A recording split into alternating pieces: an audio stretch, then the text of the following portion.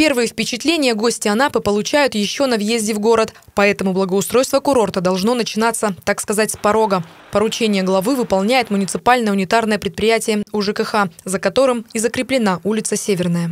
Этот сорт дерева мы ждали долго. Дерево приехало издалека. Черноплодная рябина. По науке берекка называется. Э, Почему, э, видите, через одну лунку? Потому что следующая партия должна быть ориентировочно на следующей неделе. Здесь будет красноплодная рябина между ними. То есть сочетание черной с красной рябиной дает определенный такой ну, красивый эффект. Рябина берека достигает высоту до 20 метров и может доживать до возраста 200-300 лет. Первое дерево посадили еще в прошлом году, так сказать, на пробу. Эксперимент удался, рябина прижилась и вот уже готова распустить листву.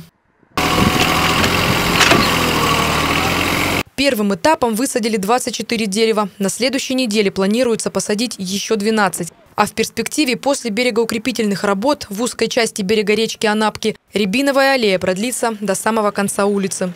Кроме этого, здесь благоустроили пешеходную зону, вдоль тротуара газон и хвойные кустарники.